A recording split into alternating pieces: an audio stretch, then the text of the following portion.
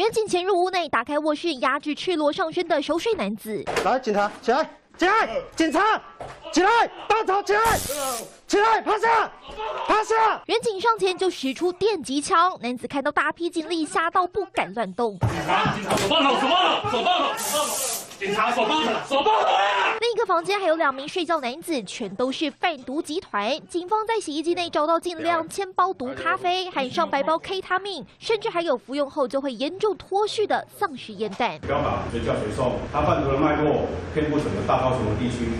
同样是贩毒，竟由香港黑帮勾结台湾毒枭，从瑞士寄出一个可疑的沐浴盐包裹，里头竟然藏着十公斤 K 他命。来，先起来，慢慢起来。一对香港情侣今年六月来台假观光。实际是领取毒品包裹，再从台北南下台南。警方一路监视，最后将八人逮捕送办。另外，在高雄刑事局追查发现，诈骗集团把男子居某海鲜超市当收款据点，在洗钱，经手金额竟然高达六千万。被害人逾百人，全案一涉嫌诈欺、洗钱防治法及组织犯罪条例等罪嫌移送侦办。警方现场查扣多辆豪车，将蔡姓男子等三十一人移送侦办，避免更多人受害。记者潘建仁、曹文宁台北、高雄报道。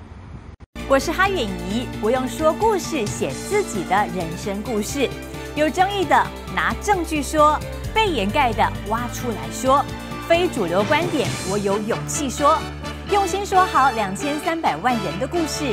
我是哈远怡，请锁定中视 YouTube 频道，记得帮我们按赞、订阅、分享、开启小铃铛哦。